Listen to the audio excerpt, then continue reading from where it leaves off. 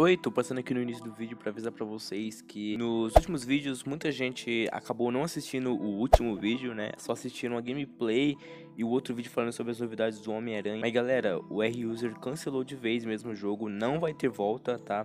Só tô falando isso porque o pessoal acabou não vendo o vídeo que eu falei lá que ele cancelou e ficou ficaram comentando que o jogo vai voltar sim, que o R-User voltou com o jogo, mas na verdade não. Eles acabaram vendo a, a mensagem de dois a três dias atrás dele que ele voltou, mas é muito confuso, eu sei, mas ele acabou cancelando. Então, não, o R-User não vai voltar com o jogo, tá? Realmente foi cancelado. É? Então é isso aí, bora pro vídeo. Como vocês já sabem, o game do Marvel's Spider-Man para celular foi cancelado, mas ninguém ainda entendeu direito o real motivo do cancelamento do game. E é isso que nós vamos falar hoje. Por que o jogo do Homem-Aranha foi cancelado? Nos últimos vídeos que eu postei sobre o Homem-Aranha, muita gente comentou que o motivo dele ter cancelado foi pelo que o pessoal liberou o APK, né? O pessoal lá do Patreon liberou o APK e por causa do hate que ele sofreu, né? Depois de ele demorar muito para liberar o APK.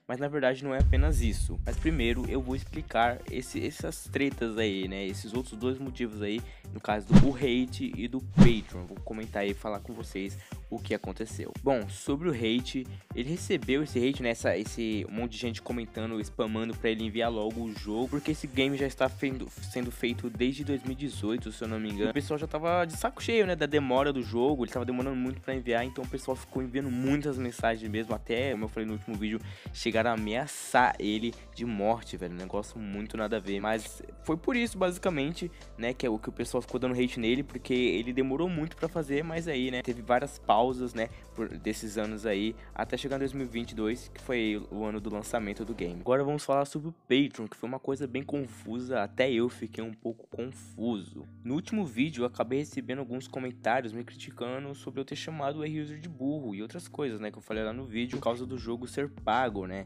É, eu, achei, eu achei que o pessoal ia pagar 90 reais por mês e receber atualizações do game, mas eu achava que era só isso. Mas na verdade, o pessoal que ajudasse lá no Patreon, né, 90 reais, a, o pessoal não ia receber só atualização do Homem-Aranha primeiro que todo mundo, né? Porque quem é, ajudasse lá no Patreon pagando os 90 reais por mês iria receber o Spider-Man completo antes de todo mundo. Mas não, não era só o Homem-Aranha, o pessoal que apoiasse lá ele também ia receber os outros jogos dele, né? os outros fangames e até jogos dele mesmo, sem ser de fangames.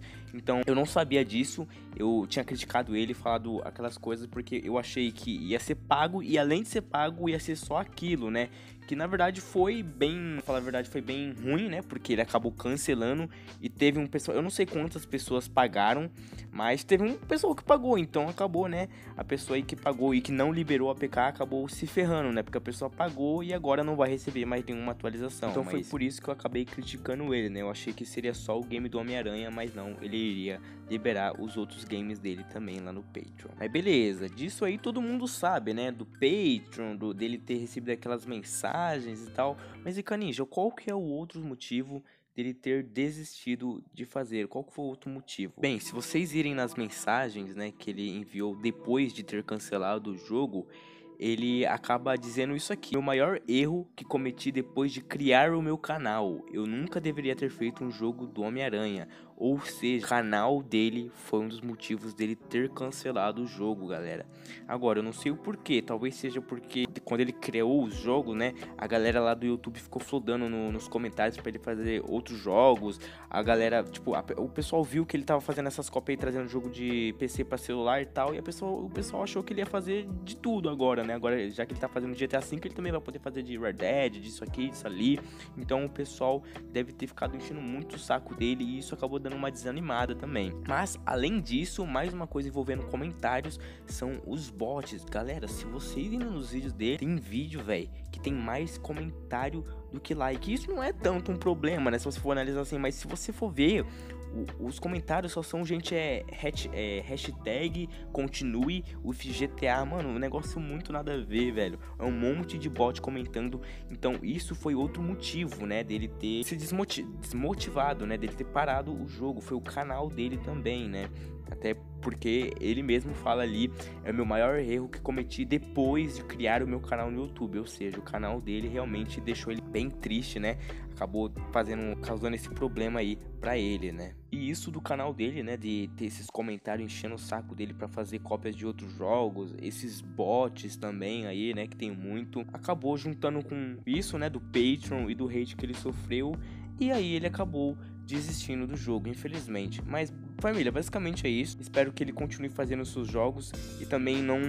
O problema dele também foi. É, é, como é que eu posso dizer? Ouvir a comunidade, né, cara? A comunidade dele foi a que destruiu ele realmente, cara. Se ele não tivesse visto os comentários, não teria desistido. Então, mano, realmente a comunidade dele acabou cagando muito, né? Fazendo muita merda e ele acabou desistindo do jogo. Aí veio de novo, ele voltou, porque o pessoal foi lá e pediu para ele voltar e tal. Aí ele voltou, fez o Patreon e deu tudo errado de novo. Mas é isso aí, né? Eu espero que ele não, não, não continue olhando esse lado, né, esse hate da comunidade, porque se continuar assim nos próximos jogos, é capaz ele desistir de vez de tudo, velho, não só dos jogos, não só do canal dele, mas dos jogos também, cara. Imagina, velho, ele desistindo dos jogos de, de, fazer os jogos do canal por causa da comunidade, cara. Da própria comunidade seria um bagulho bem zoado, velho. Mas acho que isso não vai acontecer, né? Até porque ele já tem seus dois projetos, né? Os seus projetos mesmo não são fangames, que é o Rising Down, que é um jogo de parkour, que inclusive já trouxe dois vídeos dele no canal. E o, o Agente in Rescue, não sei falar o nome desse jogo, que é um game que ele ainda está em, ainda está em desenvolvimento. E provavelmente eu vou fazer vídeo sobre, tá bom? Porque ele postou umas novidades lá do jogo, tá? Então, é isso. Eu espero que ele fique bem, né? Porque ele disse também que vai dar um tempo na internet, pelo menos de uma semaninha aí. Espero que você, user, provavelmente não tá vendo esse vídeo, mas espero que ele fique bem, né? E volte a fazer os jogos, cara. Que os jogos eles são muito bons. Mas é isso aí, família. O vídeo vai ficando por aqui. Se você gostou, deixa o seu like, se inscreve no canal se você não for inscrito, compartilha com seus amigos e até mais.